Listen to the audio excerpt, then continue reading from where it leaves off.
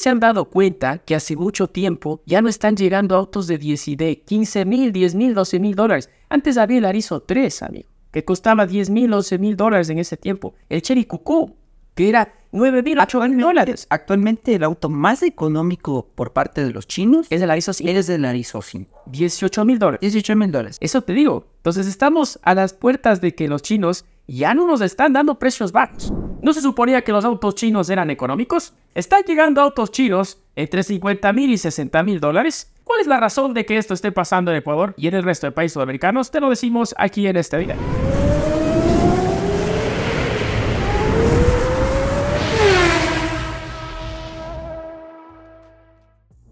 Amigos, bienvenidos a un programa más. Hoy con nuestro compa Carlos Rales de Fallas y Rolando Reynoso de Válvula de Escape. Compa, ¿cómo estás? ¿Qué tal amigo? ¿Cómo estás? Y sí amigos, hoy tenemos un video bastante interesante porque cada vez están llegando los autos chinos cada vez más caros. Hoy en día es de alta gama y esto tiene toda una razón de ser de fondo. Y en este video vamos a analizar todo a detalle. Pero antes amigo, vamos con nuestros auspiciantes. Cómpralos ya. Las mejores cámaras relación calidad-precio del mercado las tienen los amigos de Drive Partner. Tienen grabación frontal y posterior, incluye la tarjeta SD, instalación, garantía y además, si la reservas ahora tienes un 10% de descuento más obsequio. Así que ya sabes, si quieres tener tu auto siempre seguro, Drive Partner es tu mejor opción. Si eres ecuatoriano y quieres emprender en tu taller automotriz o ya tienes uno, Ignis es tu mejor opción. Tienen escáneres, repuestos y además son importadores directos. Así que si estás buscando algo, Ignis lo tiene. ¿Cómo pasa el tiempo definitivamente, no? Ya son algunos años, ya son décadas de hecho que llegaron los carros chinos al país. Yo recuerdo por ahí en el año 2010 marcas tan tradicionales, entre comillas, que llegaron y algunas se quedaron, otras desaparecieron y otras también se reinventaron. Recordarás, eh, pues yo tuve un Chang'e, no Chang'an, Chang'e. En ese tiempo Esta, había Chang'e. eh, había autos, Chang'e. Claro, había también autos y todo, ¿no? Geely también llegó al país en aquel entonces y también BYD. Por eso te digo, se transforma. Ahora BYD ya no trae vehículos a combustión, son 100% eléctricos. Sí. Pero para muestra un, un botón. Estos carros antes eran más económicos, Mucho. más accesibles para el bolsillo ecuatoriano. Y ahora, vaya a ver con qué nos encontramos en el automundo. Con precios súper elevados, con precios que los autos chinos dirías, oye, con ese precio ya lo pones en una balanza en que si te compras el carro chino, te compras un BMW, un Mercedes-Benz incluso. Está claro, y hay gente que nos puso, por ejemplo, yo que presenté la noticia cuando llegó el TAN 300 o el TAN 500, pero no, me compro con eso un Fortuner 2020, decía una persona. Tranquilamente, claro. porque es increíble los precios que... Pero sí, amigo, tú tienes toda la razón en que en ese tiempo, este, yo creo que la marca que dio el espaldarazo gigante para que vengan las marcas de autos chinos después fue Jabal. Jabal Gridwood es de verdad buen espaldarazo porque sí, marcas como Chang'e, como BYD, en ese tiempo como que vinieron, vendieron, luego desaparecieron. Y hoy en día regresaron porque tanto Chang'e también tiene modelos de SUV compactos y BYD ahora viene con la nueva era eléctrica. Pero en un momento, si ustedes se acordarán también, llegaron, desaparecieron, había gente que tenía BYD y de repente ya no sabía qué hacer porque ya la marca parece que ya no, había, no existía en el país. Entonces era bien complicado en ese tiempo y la única que se mantuvo y aguantó fue Jabal, realmente. Y ahí, por ejemplo, modelos icónicos en ese tiempo como el Jabal H3, el M4 de ese tiempo, el mismo, el, el, eh, el- se me va el nombre, el C30, ¿no es cierto? El, el que hablamos la anterior vez, el sedán en esos tiempos. Entonces es increíble cómo en ese tiempo ya las marcas chinas empezaban a perfilar. Pero algo es importante mencionar, amigo, que obviamente llegaban. ¿Cuál era el origen que llegaba en ese tiempo? Hablamos de que ya el, el puntarazo, como dice el puntazo ya más chévere que tuvo los chinos fue en el 2018, 2017, ya donde empezaron realmente a tener un poco más de que la gente ya los veía diferente en ese tiempo, porque ya modelos como el H3 o el M4, como hablamos, ya llegaron a tener cierta trayectoria y la gente ya los miró un poquito mejor. Ya preguntaba al vecino, vea vecino, ¿cómo le fue con el... "Ah, Vean, ha salido bueno hasta el carrito, no está mal. Vean, algo ha salido muy bueno. Pero en ese tiempo decían, imagínate, este Chevrolet que llega me cuesta el doble y este ve, el H3, está espacioso, grande, este por así no. Claro, y viene con pantalla y tal. Ve, 20 mil dólares. Y el otro me cuesta 40 mil. La gente por precio terminaba comprando el auto chino porque eran económicos y llegaban con materiales, es que al menos Exacto. a la, La realidad latinoamericana, hay que decir las cosas como son. Y para mostrar un botón, Chile. Sí. Lo digo con mucho respeto. Pero en Chile también, ¿por qué pegaron los carros chinos? Por su precio. Claro. En Perú también. En Perú también, en Perú a Chang'an le va súper bien, Sí. ¿ya? Es uno de los tops de marca, pero en cambio acá en Ecuador ni siquiera está en las 10 marcas más vendidas. Feng también. Dongfeng también. En Perú. Ya. Y amigo, ahí por ejemplo, para darte un dato, porque podemos hacer ahora una comparativa de precios de qué es lo que llegaba, amigo, en ese tiempo a lo que es lo que llega ahora. Porque en el 2018 yo tengo los datos. Un H3 en el 2017-2018 te costaba 23.500, que en ese tiempo era como el SUV más gama que había. Creo que había también un H5 en ese tiempo, que era un poquito más, eh, creo que por ahí en, ese- en esos años llegó como ya el tope de gama, pero ni, ni siquiera rondaba los 30 mil dólares. Y el M4 costaba 17.490. Para que vean los precios que se manejaban. 20.000, 25, 17.000 dólares. Increíble en ese tiempo los precios que se manejaban para lo que vemos ahora, amigo. Porque tú tienes los datos ahí más o menos de los SUV que han llegado en la actualidad. Amigo, los precios sí están de locura. Por ejemplo, una Jetour Traveler está entre 53.990. Desde. Todos estos vehículos son desde.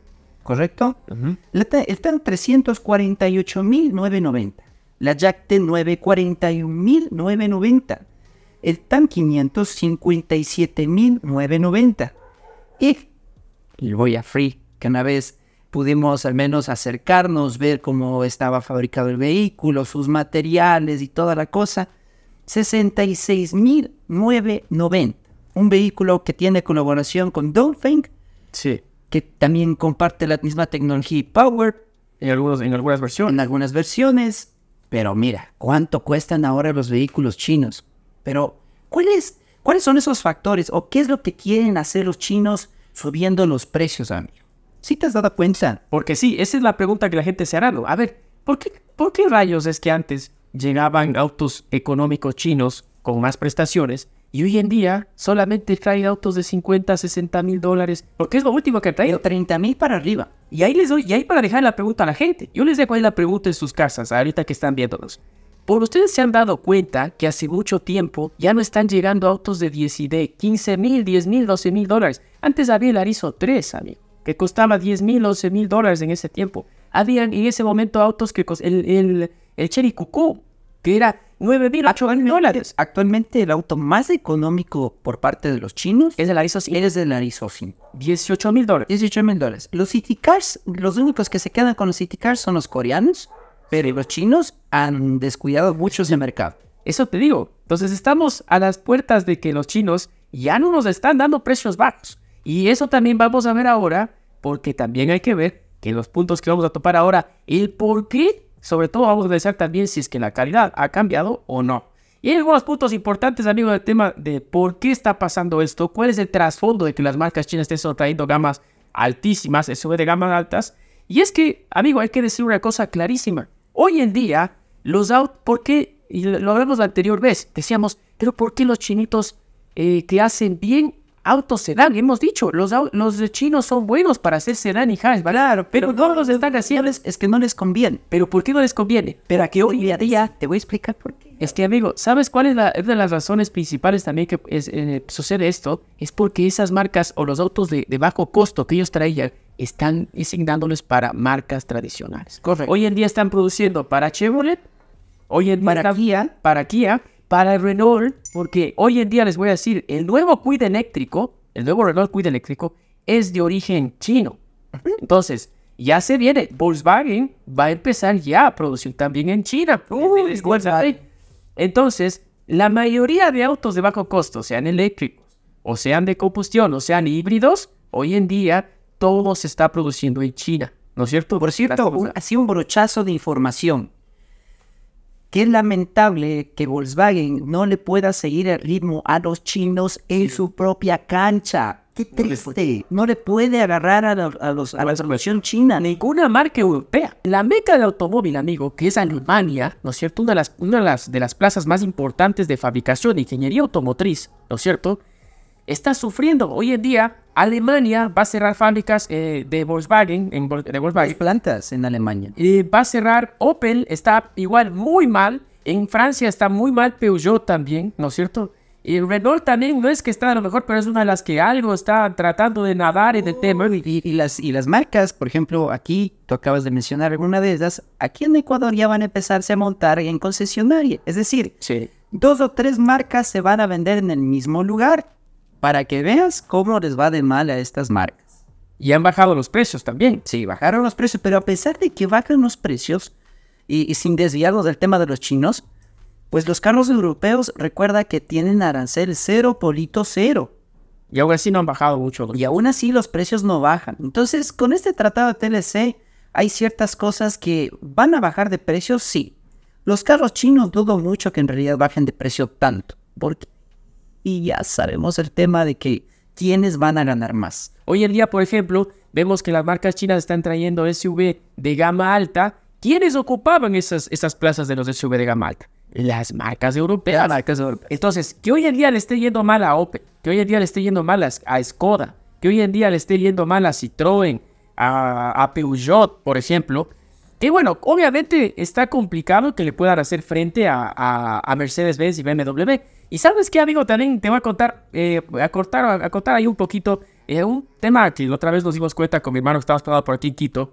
Y si tú pasas por el centro de Quito, el centro norte, el centro financiero, te das cuenta que hay muchas personas de, de eh, de nacionalidad china que están jugando cartas ahí en las cafeterías. Entonces yo decía, yo pasaba por ahí, ¿no? Y yo veía un Mercedes, el, el GLE, o sea, estaban los, los últimos, o sea, increíble. Y mi, hermano que trabaja por ahí, yo le digo, le digo, hijo, pero qué carros que hay aquí, loco. Y mi hermano me dice, no, estos carros son, son de los chinos que están ahí jugando cartas. Entonces yo decía, increíble, ¿no? O sea, vienen SUV de 60 mil, 70 mil dólares, pero ni los mismos chinos los compran, sino tendrían comprando BMW y Mercedes-Benz de lo más alto de la gama que puede ser posible. Entonces yo digo, ¿cuánto doble... Tío, no, qué doble discurso. ¿Cuánto doble sentido hay? Qué doble discurso. Dicen que los chinos ya vienen y increíble, ahora van a, van a conquistar el mundo, eh, vamos a conquistar el mundo, cerebro, o sea, increíble, van a... Y después le ves al mismo chino, que son obviamente empresarios chinos que están ahí, que tienen dinero, y no compran ni el Jetour Traveler, ni el TAN 500, ni- no.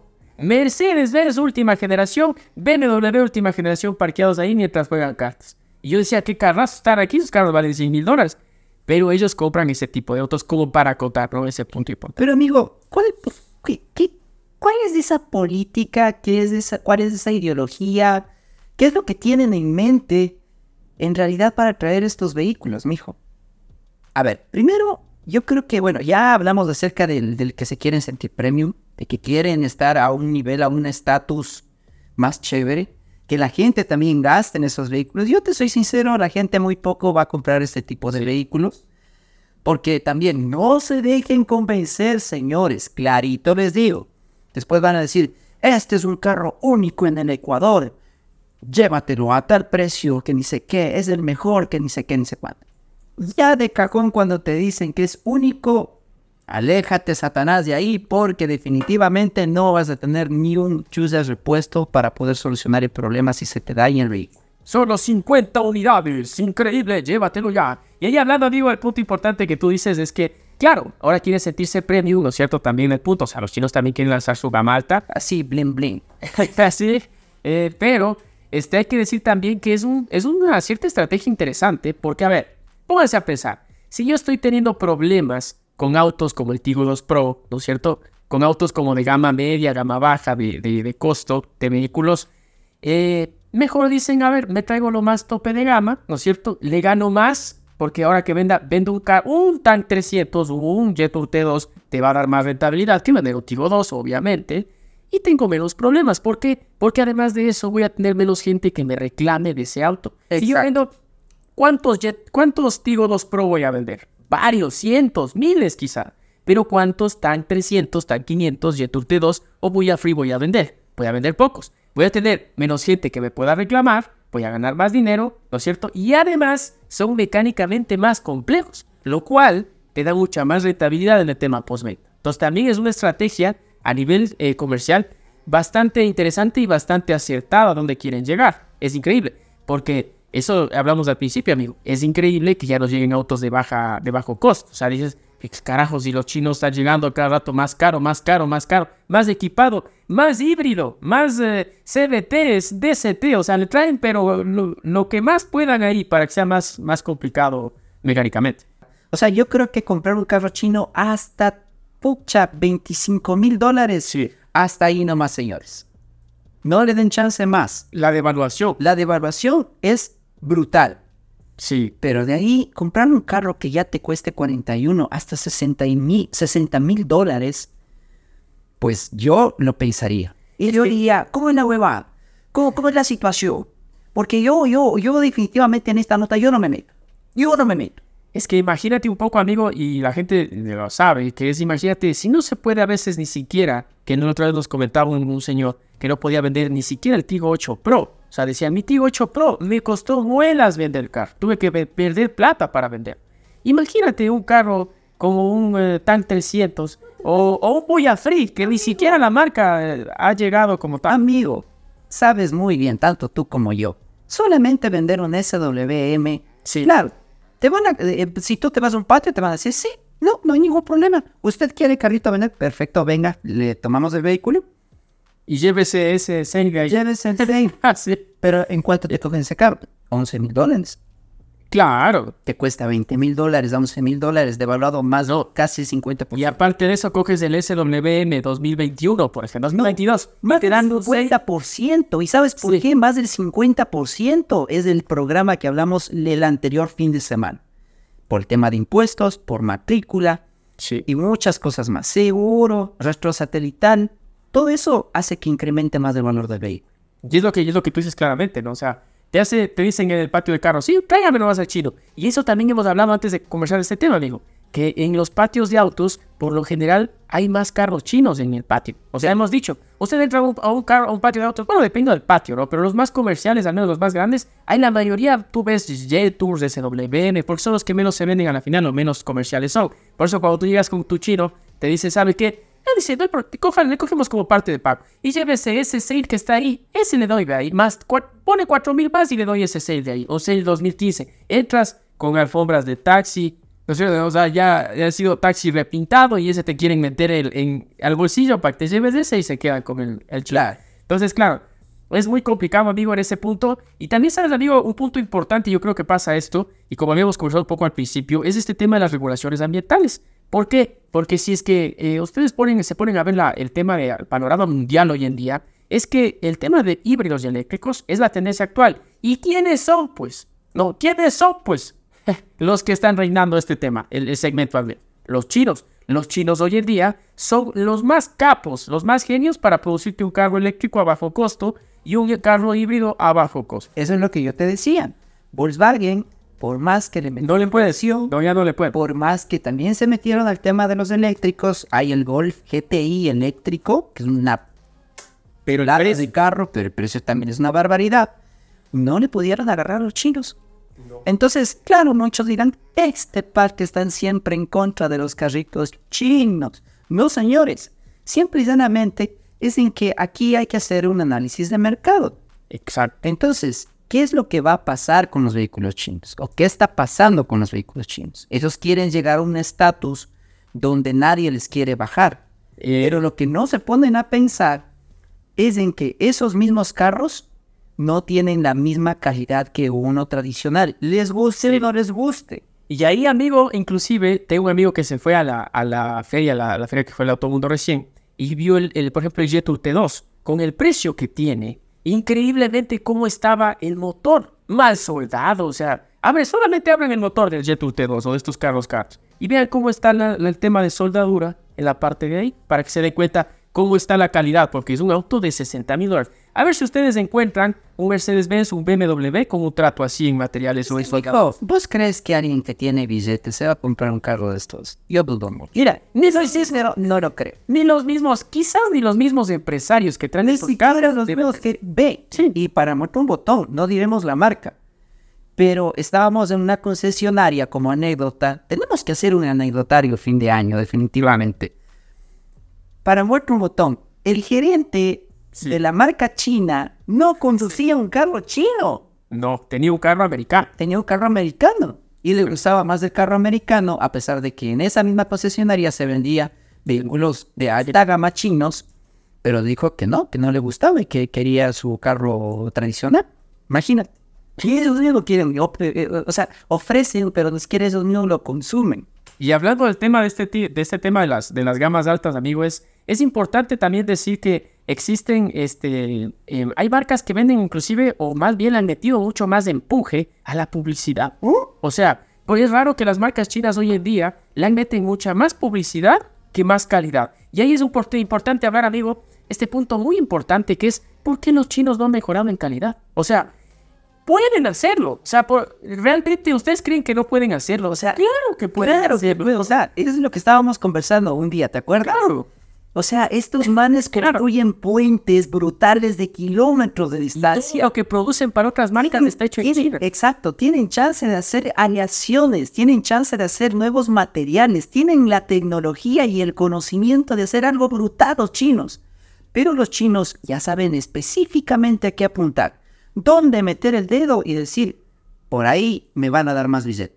Sí. Lamentablemente, las cosas como son, los chinos saben y conocen acerca de la obsolescencia programada. Entonces, este dato... Sí, por porque hoy en día, si es, lo mismo que estamos diciendo ahorita, ustedes se dan cuenta, son autos de 60 mil, de 66 mil dólares ahora que están llegando al país y que se dan cuenta que mejoran el equipamiento, claro, ahora te traen la pantalla y todo, por último, pues fuera Play 5 en, el, carro, pero y, el, y la calidad de soldaduras y la calidad del tema mecánico no es el mismo. Y está bien, por ejemplo, para primer mundo, donde vos puedes coger y esperar que tu carro se dañe, o vos puedes un presupuesto importante. Ni siquiera, en el primer mundo, ve, a ver, ¿no te gustó el carro?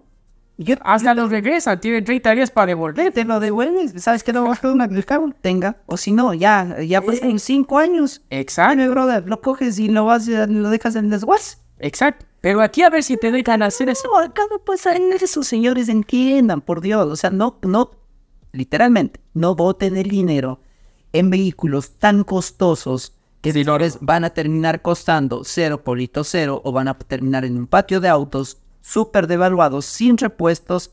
Ya quiero ver, ofertón, ofertón, este carrito chino, llévatelo dos por uno más un Renault Quid. Llévate una lavadora, una refrigeradora, una... Con las puertas, ¿visto? Vamos a la siguiente puerta y la canción...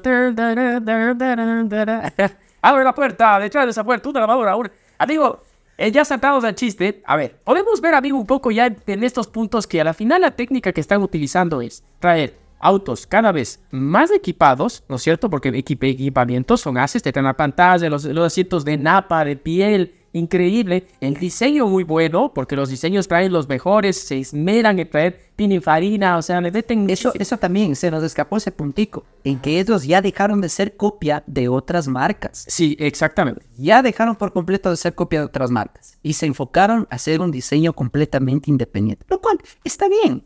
Por ejemplo, el Jetour, el, el nuevo Jetour, a mí me parece un auto súper guapo, muy bonito pero ya cuando me acuerdo que es chinito, se me pasa, amigo.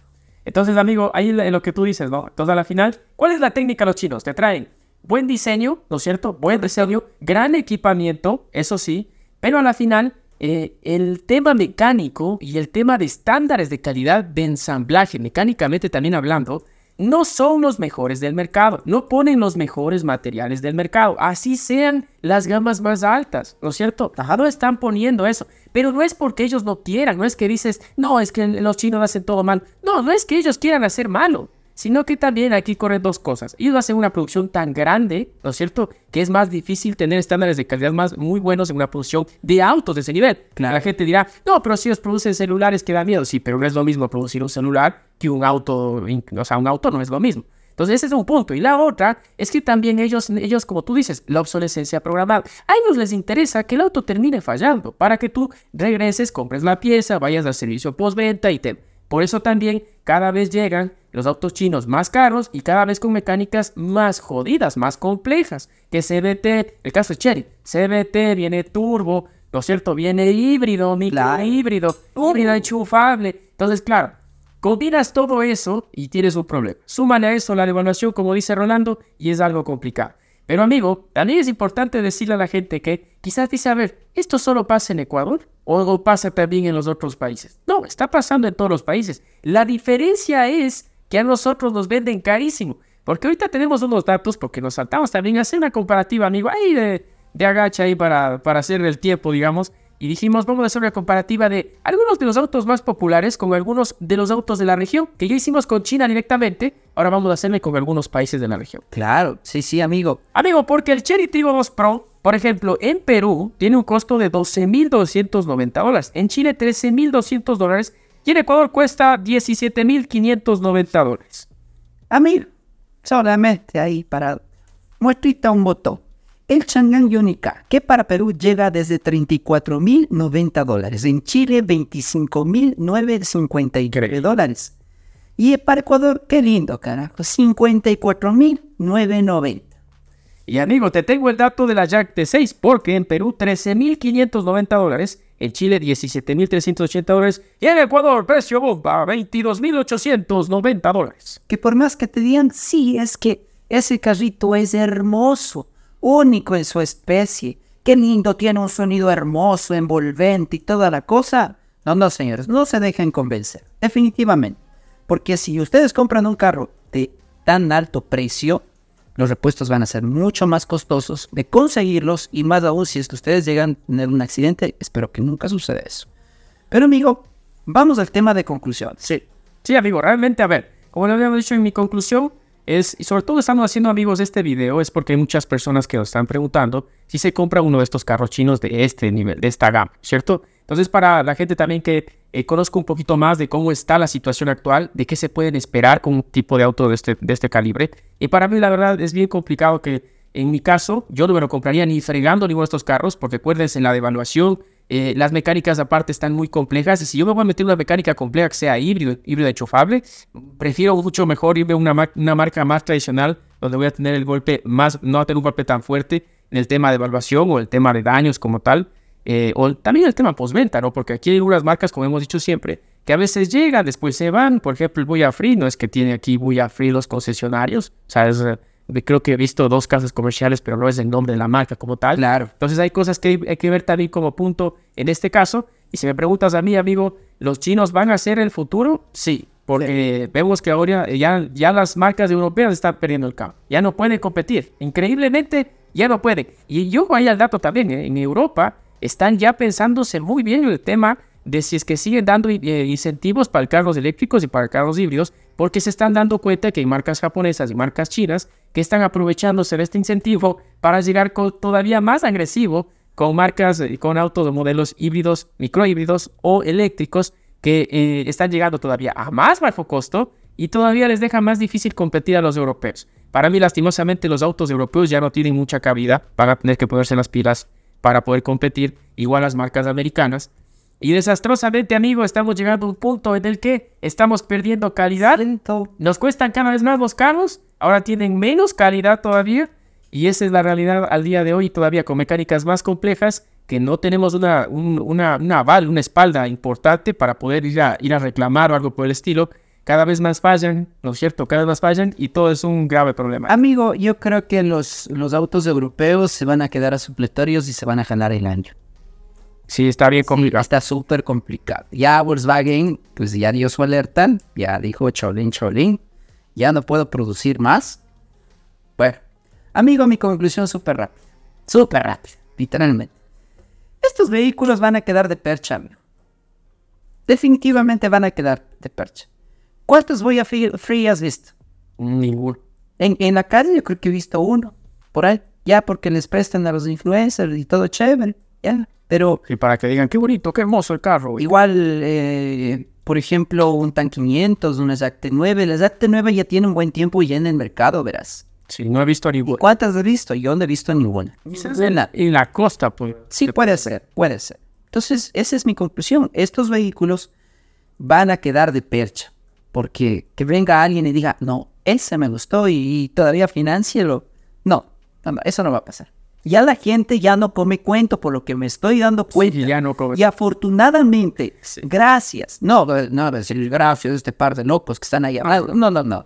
Gracias a la nueva tecnología, gracias que existe información al día, gracias a que tú puedes agarrar tu teléfono y decir, ah, ve, sí, sabes que este carro tiene tal falla, tal falla, tal falla. No solamente para que digan, este par de locos hablan tonteras de los carros, sino que ya a través de otros medios, de otras fuentes, ustedes se pueden informar. Y está bien, están en su derecho, es correcto. Sí, y también hay que decir que eh, los, los autos chinos no es que están en el mejor tiempo de ventas tampoco. Sí. O sea, están, Todos están en eh, caída. están en caída, pero y, y ahí es el dato importante porque ahí en China habíamos hablado de que habíamos hablado antes de que los autos chinos en un punto, a pesar de que las marcas, las marcas venían en baja, las marcas chinas subían ventas, pero hoy en día están también a la baja y es algo preocupante, se debe también al tema de precios. Pero bueno, amigo, un- hoy, y antes de tener, amigo, algún rato vamos a traer un video de toda la estrategia de las marcas chinas, ¿no? De cómo vienen y cómo van, a dónde apuntan, porque es muy interesante también con el tema de la globalización. Hay datos importantes a hablar ahí. Y bueno, amigo, aquí terminamos el video. Muchísimas gracias a todos ustedes por quedarse hasta acá, hasta el final. Pero antes de terminar, vamos a agradecer a nuestros auspiciantes. Cómpralos ya. Las mejores cámaras relación calidad-precio del mercado las tienen los amigos de Drive Partner. Tiene grabación frontal y posterior, incluye la tarjeta SD, instalación, garantía y además, si la reservas ahora tienes un 10% de descuento más obsequio. Así que ya sabes, si quieres tener tu auto siempre seguro, Drive Partner es tu mejor opción. Si eres ecuatoriano y quieres emprender en tu taller automotriz o ya tienes uno, Ignis es tu mejor opción. Tienen escáneres, repuestos y además son importadores directos. Así que si estás buscando algo, Ignis lo tiene. Amigos, gracias por quedarse hasta el final de este video no se olviden de dejarnos sus comentarios ahí abajo. Si ustedes pensaban en comprarse un Jet Uterus, que un TAR 500, que tal de estos carros ahora que están llegando sobre de gama alta, con precios altos. Y sobre todo también pre- pónganos ahí abajo, ¿no? El tema cómo ha cambiado. Antes teníamos autos chinos de bajo costo, que por eso llegaron, por eso populares, y hoy en día son todos costosos. Déjenos ahí qué les parece, o qué ideas también ustedes piensan del por qué está sucediendo ahí abajo. Se apoya mucho a la comunidad. También no se olviden que tanto en como en Escape pueden suscribirse por un dólar al mes. Y además de eso, también no se olviden, suscríbanse que es gratis, denle like y comenten ahí abajo. Y si pueden, compartan los videos que, bueno, nos ayudan a llegar a mucha más gente. Que esta información tiene mucha, mucha validez, muy valiosa también para algunas personas. A mí se pregunta el. Sí, sí, sí, sí. Compas, muchas gracias por vernos, por aguantarnos hasta el final del programa definitivamente. Nos vemos para la próxima. Ya saben que la mejor información solamente en fallas y válvula de escape. Nos vemos para la próxima. Nos vemos, amigos. Adiós.